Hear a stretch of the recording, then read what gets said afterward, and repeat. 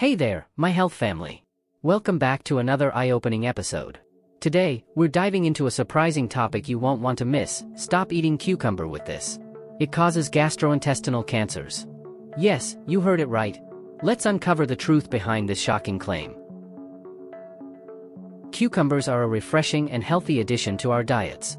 They're hydrating, low in calories, and packed with vitamins. But what if I told you that combining them with certain foods can pose serious health risks, including gastrointestinal cancers? Stick around to learn more. First, let's appreciate the goodness of cucumbers. They're an excellent source of hydration, thanks to their high water content. Cucumbers also provide essential nutrients like vitamin K, vitamin C, and potassium. They're great for your skin, help with weight management, and can even improve digestion.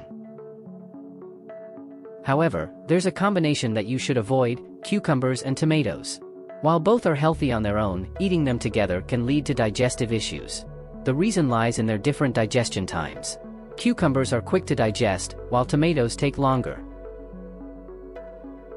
When eaten together, the quick digestion of cucumbers can cause the tomatoes to ferment in your stomach, leading to gas, bloating, and discomfort.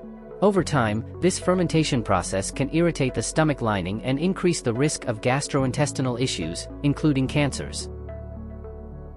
Expert 1. Combining cucumbers and tomatoes frequently can disrupt your digestive health.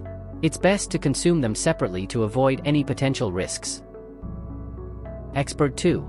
Fermentation in the stomach caused by such combinations can lead to chronic inflammation, which is a known risk factor for gastrointestinal cancers. So, what are the safer alternatives? You can pair cucumbers with leafy greens, bell peppers, or carrots. These combinations are not only delicious but also gentle on your digestive system. Remember, the key to a healthy diet is not just about what you eat, but how you combine your foods.